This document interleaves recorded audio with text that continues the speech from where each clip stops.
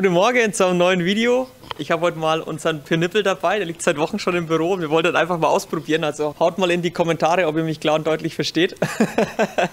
ja, äh, wir machen die Woche wieder einen Vlog für euch. Haben uns gedacht, passend zu dem geilen Wetter, heute kamen die Sonnenstrahlen raus. Das erste Mal ist es warm, es fühlt sich echt mega an, die Energie strömt nur so rein. Äh, wir haben den ganzen Hof jetzt schon vollstehen seit Wochen, haben uns gedacht, wir laufen hier mal kurz über den Hof und zeigen euch einfach mal, was so da steht, bevor wir in die Werkstatt gehen und euch mit euch den Wochenvlog machen. Äh, fangen wir da vorne an, da steht den Kevin sein krasser Dreier Touring. also ich glaube, da müssen wir die Woche nichts machen. Habt auch mal in Kevin sein Alltagsauto gesehen. Richtige Rakete mit äh, 335i Optik, aber es sieht auf jeden Fall cool aus, das Ding. Dann haben wir hier unseren M2, an dem machen wir auch nichts. Der steht hier schon seit Monaten, ist glaube mittlerweile, dürfte schon festgerostet sein, weil er nicht bewegt wird. Ähm, ist auch abgemeldet momentan, kommt jetzt erst wieder zum Einsatz, wenn es wieder losgeht. Dann haben wir hier einen E46, da haben wir die Woche schon oder letzte Woche schon ganz viel gemacht. Der hat schon eine neue Ölwanddichtung bekommen, bekommt jetzt noch oben eine Ventildeckeldichtung, sämtliche Dichtungen oben noch am Motor, weil da einfach nur das Öl so rausläuft und noch Sommerreifen drauf, die liegen auch schon in der Werkstatt. Da gibt es ein paar Kästchenfelgen, Fahrwerk ist schon verbaut worden letztes Jahr. Hier noch den Andreas sein M4, der wird weiter umgebaut. Sein G80 habt ihr letzte Woche schon gesehen, den schwarzen. Das war quasi sein anderes Auto. Da machen wir jetzt einen kompletten Clubsportbügel rein. Zwei Recaro-Sitze kommen jetzt noch rein. Fahrwerk und so weiter ist ja schon alles verbaut. Vier neue Reifen wahrscheinlich noch für die Rennstrecke, weil das Auto, glaube ich, am Donnerstag nach Monza geht. Auf die Rennstrecke basteln wir quasi jetzt noch alles um, dass er hier noch für die Rennstrecke die restlichen Setups drin hat. Software wird nochmal angepasst mit der Trackmap und dann kann er da in Monza auf jeden Fall richtig Stoff geben. Dann haben wir hier zwei schöne Autos. Einen Supra ich glaube, das ist sogar, wenn es mich nicht täuscht, irgendeine Sonderserie, irgendwas Legend 3, muss ich jetzt nochmal nachschauen. Ich habe nur vorgestern kurz das Steuergerät rausgemacht äh, für den ECU-Unlock. Das Auto bekommt komplett Stage 3, Upgrade-Turbolader, Eventuri, Downpipe, die Abgasanlage von uns ist schon drin, also die Hardware wurde schon alles umgebaut soweit. Sind wir jetzt gerade am ECU-Unlock dran, vielleicht, wenn wir Glück haben, können wir den noch mit ins Video reinschieben, zeigen euch noch ein paar Kleinigkeiten von dem guten Stück. Da hinten eigentlich den Supra nur im BMW, äh, Z4 M40i. Da ist es so, Gleiche Thema wie bei dem Supra, ECU-Unlock, ähm, Steuergerät habe ich schon alles aufgemacht soweit. Machen wir jetzt dann noch die Downpipe rein. Abgasanlage kriegt er zum späteren Zeitpunkt. Dann kriegt er noch einen Satz Wheelforce-Felgen. Äh, wird auf jeden Fall auch noch einiges passieren. Äh, da ist der Dreier Touring vom Seidler Sigi, der ist gerade zu Besuch, macht ein bisschen Buchhaltung bei uns. äh, der ist jeden Montag da. Da haben wir einen M3, da hat man jetzt eigentlich auch relativ wenig gesehen. Das Auto hat eine sehr krasse Stilllegung hinter sich mit seinem Airride ähm, und Rotiformfelgen und so weiter, war leider nichts eingetragen. Auto wurde von der Polizei stillgelegt. Wir haben jetzt einmal komplett Generalüberholung gemacht. Das Airride ist rausgeflogen, die Felgen sind rausgeflogen. Wir haben komplett alle Querlenker und alles, was mit dem Airride zu tun hat, ausgetauscht. Haben da nochmal einen Satz Felgen vom BMW wieder drauf gemacht, original mit vier neuen Michelin, mit, mit keinem Blödsinn erzählen, äh, Supersport, die noch draufgekommen sind. Dann die Aulitzki Exhaust ist äh, auch verbaut und haben da jetzt einmal komplette Vollabnahme gemacht mit dem Fahrzeug. Ist jetzt wieder seit heute auf der Straße unterwegs, kann vom Kunden dann passend zum 1. April abgeholt werden. Dann haben wir hier den 1er BMW, das ist der starke Leihwagen, den ihr immer mit dabei hat. Der eine oder andere kennt ihn. Hier haben wir auch noch einen M3 aus dem Frankfurter Raum. Der hat ein Geräusch, will glaube ich aber noch einige Sachen umgebaut haben, wenn wir wissen, was da los ist. Da hinten haben wir die Audi TT-Fraktion. Da ist der TTRS, der eine oder andere kennt ihn ja schon, war auch auf der Messe mit dabei. Haben wir jetzt quasi noch fürs nächste Race 1000 und SCC 500 die Abstimmung fertig gemacht wieder, weil der Turbolader nochmal neu kam. Hatten jetzt am Dyno, glaube ich, die Tage wieder 650 PS um den Dreh. Also es war nicht mehr wie 650, aber das reicht auf jeden Fall, um ordentlich Kit zu geben mit dem Ding dann wieder, wenn es losgeht. Da hinten ist nochmal einer, der ist da für ein paar Sachen mit Bremsscheiben und Fahrwerkscheckup. Der hat ein bisschen Geräusche am Fahrwerk und so weiter. Werden wir uns auf jeden Fall reinziehen. Da haben wir noch zwischendrin den E46, den haben wir mit Kompressor umgebaut. Äh, ein paar Felgen, Fahrwerk und so weiter. Den haben wir auch mal zwischen rein gemacht. Der muss jetzt noch einmal zum TÜV, dass der Kompressor noch eingetragen wird. Da hinten steht nicht mehr die Welt. Der A45 steht noch hier, der S, den wir haben. Dürfte auch mittlerweile schon festgewachsen sein, weil der steht hier auch schon mit sehr verrosteten Bremsscheiben, weil er nicht bewegt wird. also ihr seht, äh, jede Menge Autos, aber keine Zeit zum Fahren. Ne? Und äh, da haben wir heute noch ein cooles Projekt bekommen. Das ist eigentlich ein Neuwagen. Ich glaube, der hat noch keine 130 Kilometer drauf. Ähm, sollen wir eine Olitzki Exhaust neu entwickeln? Also wir werden das Auto die Woche auf die Hebebühne reinnehmen, werden komplett mit unserem Scanner einmal den ganzen Unterboden durchscannen, machen dann komplett im CAD eine neue Abgasanlage und dann werden wir demnächst für den M550i eine Abgasanlage anbieten ab OPF. Ganz viele Fragen ja schon, ganz wild seit Monaten, wann die Anlage kommen wird. Bitte gibt uns noch ein bisschen Geduld, bis das Auto jetzt dann alles entwickelt ist, durch den TÜV ist und so weiter. Werden auf jeden Fall noch etliche Wochen vergehen, da wir momentan eh relativ viel mit Aulitzki Exos zu tun haben, weil da einfach so viele Bestellungen reinkommen und Neustrukturierung und so weiter. Da werden wir aber demnächst mal auf ein Video eingehen, wie es bei Aulitzki Exhaust momentan abgeht. Aber da brauchen wir, glaube ich, ein gesondertes Mittwochsvideo für euch, weil da einfach gerade so viele Änderungen drin sind. Wollen euch da aber einfach demnächst erst einmal alles präsentieren, was da abgeht. Aber machen wir separat. Auf jeden Fall, der bekommt noch ECU-Unlock, Software, Downpipes, Wheelforce-Felgen, Michelin-Reifen, die Abgasanlage. Äh, ich glaube, Maxton-Spoiler kommen noch mit dazu. Also jede, jede Menge kommt da noch rein. Ich hätte gesagt, äh, ich höre jetzt mal auf zu babbeln. Wir haben ein hartes Wochenende hinter uns. Wir haben ein bisschen Party gemacht. Die Julia hatte Geburtstag. Ähm, aber ich kann heute wieder geradeaus gucken. Das war echt übel gestern. Deswegen, äh, wir schauen mal rein und gucken, was in der Werkstatt abgeht. Die Jungs sind auch noch ziemlich durch vom Wochenende. Aber sind alle wieder da und haben Bock zu arbeiten. Das ist das Wichtigste. Und dann gucken wir mal, wie es in der Werkstatt aussieht. Tüdelü. Einen wunderschönen guten Abend. Wir befinden uns heute wieder mal im Hause Aulitzki, aber heute mit einer ganz anderen, ja, wie soll man sagen, Angelegenheit, zu einem ganz anderen Anlass. Ich würde sagen, ich laber gar nicht lange rum, wir nehmen euch mal mit und schauen mal, wie wir das ein oder andere Feedback über die Abendveranstaltung hier bekommen. Das Witzige ist, die Teilnehmer wissen noch gar nichts von ihrem Glück. Da haben wir schon die ersten Opfer gefunden. Schauen wir mal, was die zu sagen haben. So, meine Damen und Herren, wir haben die ein oder andere Frage an Sie. Wegrennen zieht hier fein nicht, ne? Wir wollen nur ein kurzes Feedback über den Abend haben. Wie läuft es denn bis jetzt? Gut, gut. Bis jetzt ist der Abend gut, ja. Ja, und es, und es macht wirklich Spaß. Oh, super, macht Spaß, Aulitzki, yeah. Das ist das, was wir hören wollen. Dann schauen wir weiter. Jetzt kommen wir in die Höhle des Löwen. Fangen wir mal im Elternhaus Aulitzki an, würde ich sagen. Einen wunderschönen guten Abend! Das ist übrigens ganz normal. Also, wir wollen mal so ein bisschen kleines Feedback sammeln, wie der Abend hier gefällt, wie der Abend läuft. Also der Abend ist auf jeden Fall äh, sehr feucht. Voll chillig, mit einem Bier an der Schnauze. Bitte. Das ist wie bei Prominent, ja. Das ist wie bei Prominent. Also, ich glaube, mehr muss man an der Stelle auch nicht mehr sagen. Charlie, was, was, was sagen Sie zu dem Abend? Mega geil. Wo waren Sie gestern Abend zu Hause? Da wollen wir, das schneiden wir raus. Wunderschöner Abend. Wunderschöner Abend. Die Leute sind auch wundervoll, oder? Ja, kommt der Kameramann. Ja, ja irgendwann drehen wir die Kamera mal um und dann steht er mit dem Mikrofon da. Aber Unseren neuen Mitarbeiter kennt ihr ja schon vielleicht aus dem ein oder anderen Video. Fröhlich wie eh und je. Uwe, waren Sie überhaupt schon auf unserer Hüpfburg? Nein, jetzt haben sie aber schon gespoilert. Wir zeigen euch das Ganze mal. So, wenn wir gerade von einem Kindergeburtstag gesprochen haben, ich habe jetzt eine Teilnehmerin gefunden, die den ganzen Abend mit einem Messer rumspielt und wir nicht wissen, was sie da macht. Mit einem Messer auf einem Kindergeburtstag. Eigentlich bin ich nur wegen dem Kuchen da. Das können wir auch so stehen lassen, würde ich sagen. Weil vielleicht geht es dem einen oder anderen auch so, aber ich glaube nicht. Ja, noch den Kevin. Ich habe dein Auto gerade schon vorgestellt. Ich habe gesagt, vom Alpha Kevin ist das äh, Alltagsauto mit 335i Optik richtig stark. Ciao. Ja, hier ist der M5 F90. Ich hätte mal gesagt, wir fragen mal den Guten, was er jetzt hier umgebaut kriegt. So, hier, haben wir einen M5 Competition.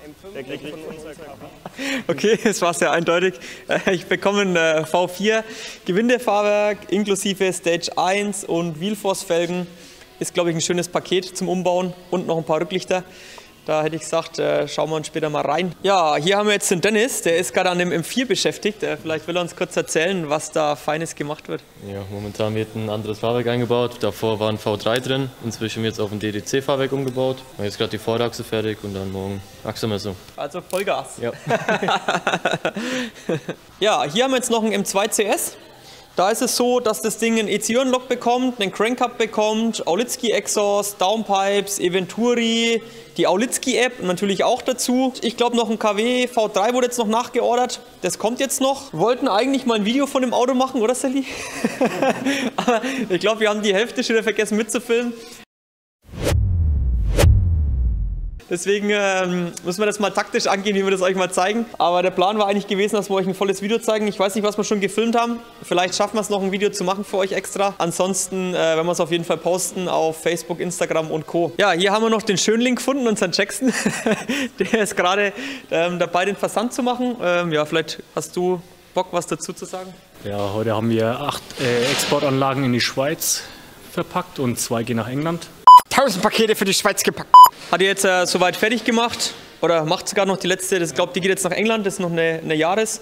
Die andere müssen wir erst noch verpacken. Da drüben äh, haben wir nochmal acht Pakete, die jetzt in die Schweiz gehen. Ähm, ja, also wer auf jeden Fall auch Bock hat in der Schweiz, wir verkaufen da auch jede Menge Abgasanlagen, könnt auch direkt bei uns bestellen oder bei den zuständigen Händlern in der Schweiz. Es gibt ja mehrere, äh, die den Vertrieb dort machen oder auch was bei uns bestellen können. Und wenn nicht, könnt ihr euren Händler auch fragen, ob er bei uns bestellen darf. Ansonsten könnt ihr direkt auch bei uns bestellen, ist auch kein Stress. Dann hätte ich gesagt, wir lassen den Checks mal weitermachen. Der schaut schon ganz schüchtern. Gucken dann einfach, was sonst noch so abgeht. So, hier haben wir einen M5 Competition. Der kriegt von unserer KW V4 eingebaut. Machen dann noch eine Achsvermessung, wird dann alles noch eingetragen. Dann kriegt er Softwareoptimierung und noch eine Leistungsprüfstandsmessung. Rückleuchten? Genau. Facelift Rückleuchten bekommt er noch.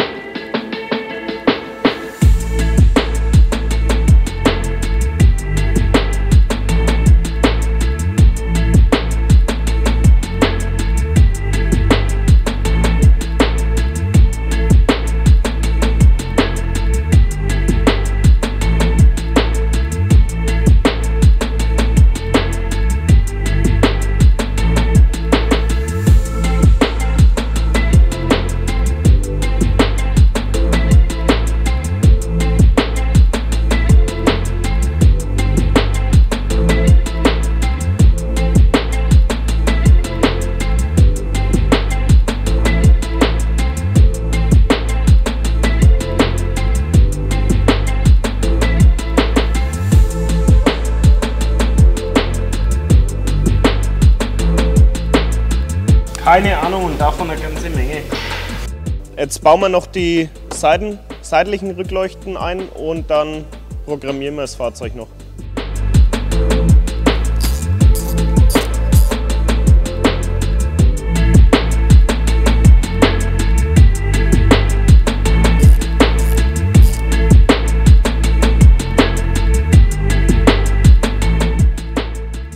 So, wir sind jetzt fertig mit dem M5.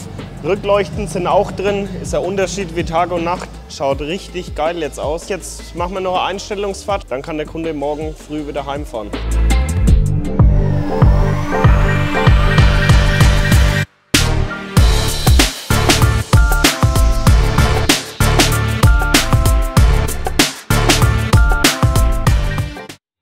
Ich kämpfe mich gerade hier mit der, mit der neuen Technik durch. Fahrzeugscheine per Foto anlegen im Warenwirtschaftsprogramm.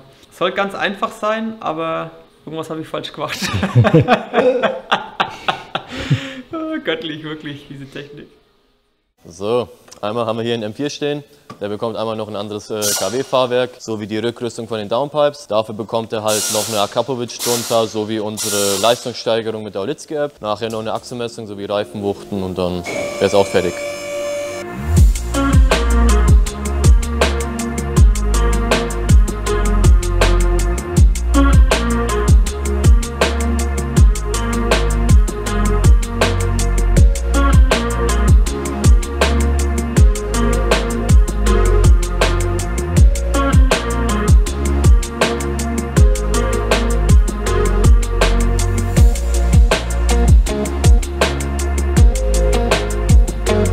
Also, Fahrwerk ist fertig eingebaut, gerade eben noch eine Achsenmessung gemacht. Jetzt geht es in Richtung Leistungsprüfstand. Ich übergebe das Auto dem Chris, der macht da jetzt noch individuell eine Softwareoptimierung und dann wird noch eine Probefahrt gemacht und dann ist er auch fertig.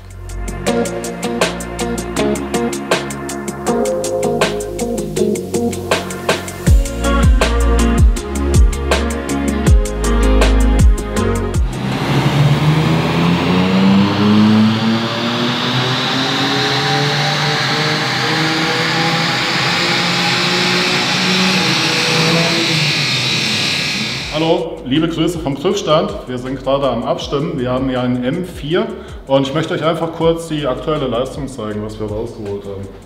Wir sind aktuell bei 570 PS und 723 Newtonmeter. Richtig schön flatte Kurve. Ich denke, das wird sich super fahren.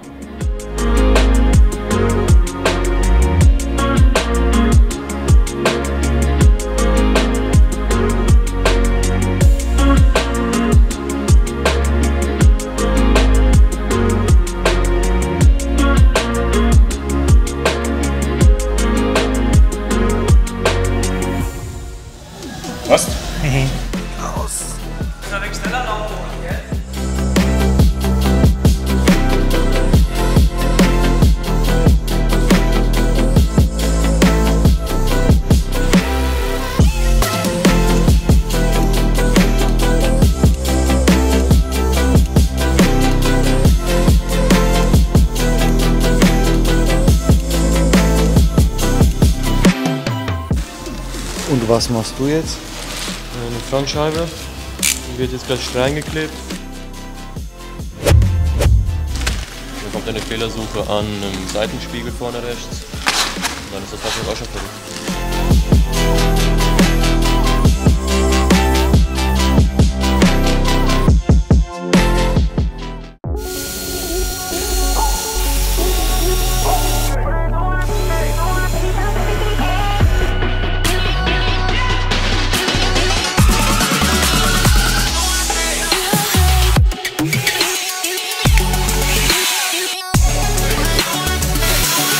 So, bei dem M4 haben wir jetzt die Pipeback Luftfilter eingebaut. Jetzt war ich in Christian das Auto noch schnell am Prüfstand und kann dann anspannen und kann seine Software dazu machen. Und ich schaue dann mal, was als nächstes ansteht.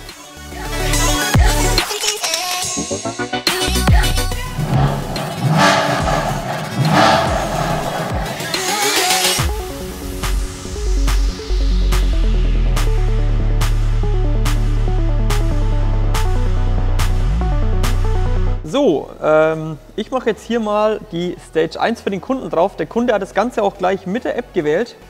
Dann haben wir hier unsere Olitzki-App. Die klicken wir an. Verbindet sich jetzt mit unserem Ethernet-Adapter und dann geht's gleich los. So, hier sehen wir jetzt das Motor- und Getriebesteuergerät mit den dazugehörigen Nummern. Die aktualisieren wir jetzt mal ganz kurz, weil hier der Empfang so schlecht ist. Dauert es immer ein, zwei Sekunden, bis er im Hintergrund jetzt gerade die Software erkannt hat. Die hat der Chris jetzt schon mal vorbereitet. Und da geht es jetzt dann gleich los mit dem Motorsteuergerät.